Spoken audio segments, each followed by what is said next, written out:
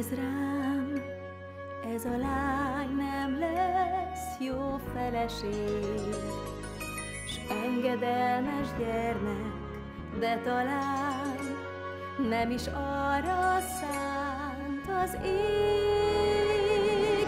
Tudom ám, ha otthon feltárnám lelkemet, megszakadna